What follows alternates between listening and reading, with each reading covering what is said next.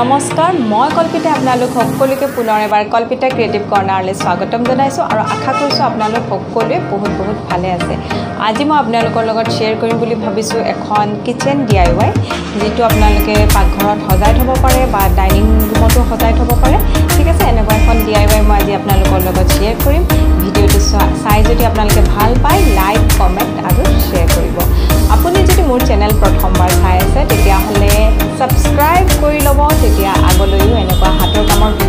পাই থাকিব। ঠিক আছে আৰু বেছি দেৰি নকৰোঁ যাওঁ ব'লক চাওঁগৈ।